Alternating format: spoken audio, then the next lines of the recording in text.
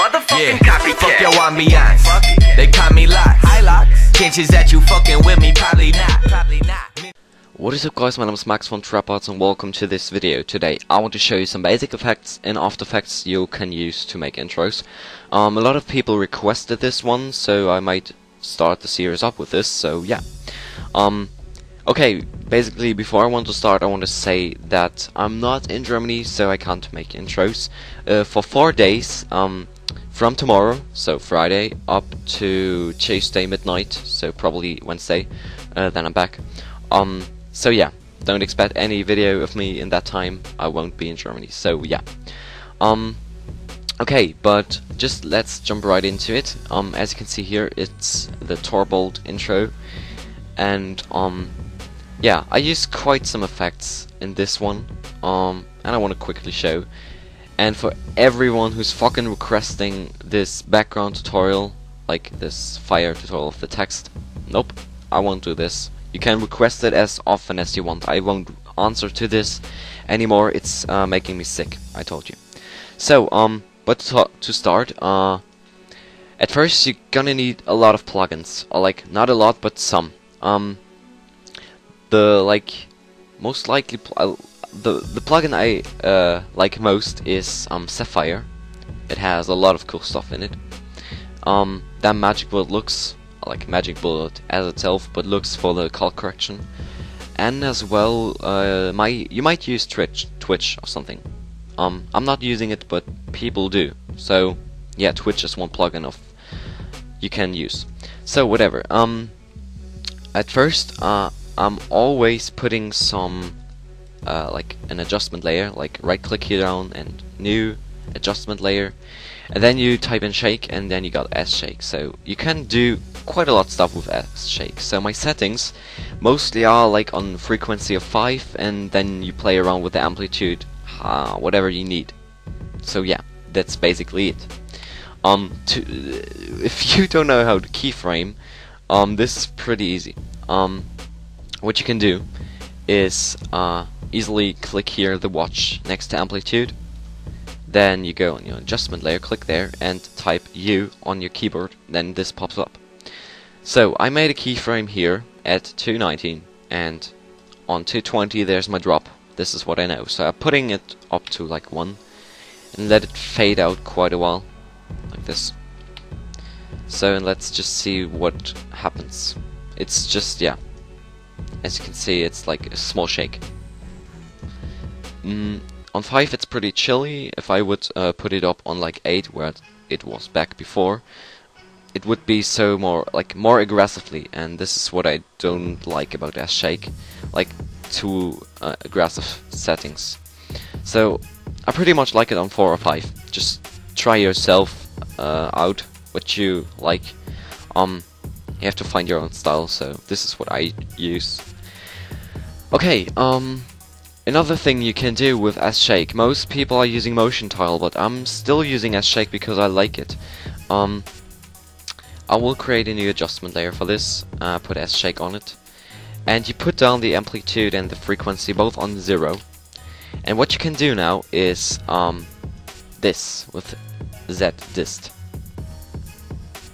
or Z dist, whatever. This is kind of Motion Tile, but it's not the original one but kind of looks like this and yeah you can keyframe it as well just like this typing U. Then it made a keyframe and you could go like one two three four five five frames forward put it on like three then go small bit forward put it on four and then one two three four five six seven put it on one. And let's see how it looks. Um this is how, how I basically do this. And yeah. Uh, let's see.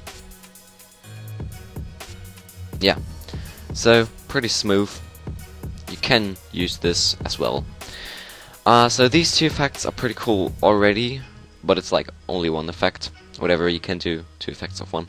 Um, the other thing is optic compensation. Um, as well, you can use this for drops, and I know my drop is still on to 90, uh, to 10, no, to 20, isn't it? Yeah. Yeah, so to 19. I'm putting up the common compensation down here. Make a tick at uh, this thing under the fourth setting stuff. Um, otherwise, if you wouldn't do this, it looks like this, as you can see, and that looks pretty weird. So put this in, and then it looks like this. You can do a lot of stuff with this. Um, so basically, you can just make a keyframe there, and one, two, three frames forward, or four. I mostly do it like, yeah. No wait, on the drop, which is here, I'm putting it on like 140, or maybe more. Oh, okay, crashed. Um, see you back when my After Effects is working again. Okay, back in the biz, so, um, I want to show you still the optic compensation, um, yeah, uh, you know, effect.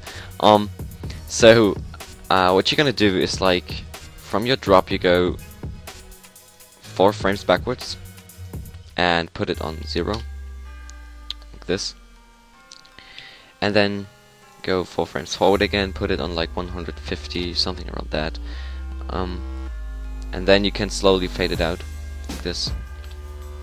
And then you got a nice optic compensation effect. Um I'm using this quite often so yeah. You might have seen this a lot. Yeah. Also I used this in the Torbold intro as well.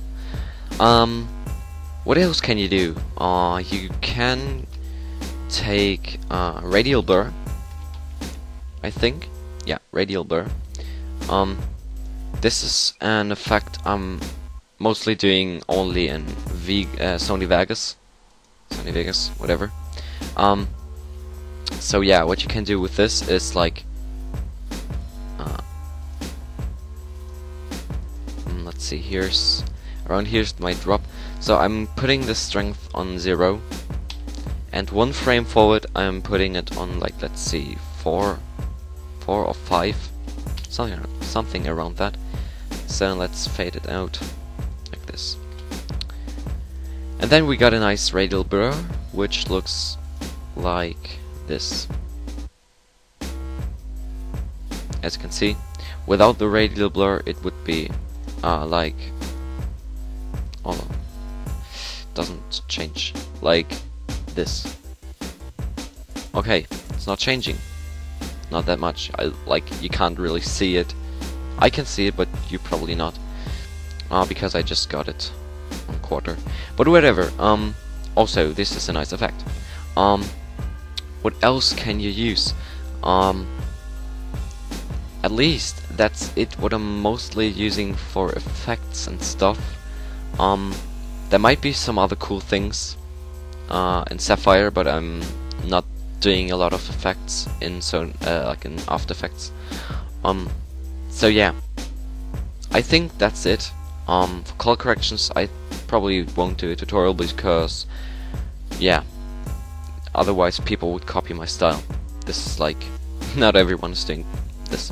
Whatever. Uh, so thank you for watching, and if you have any requests on tutorials in After Effects or any other programs, whatever, which has something to do with motion design, um, you can simply just write it as a comment. I would like to see that. And um, please do not ask for the glow effect of the text. I won't tell it. Still. So, again, thank you for watching and see you in the next intro tutorial and goodbye.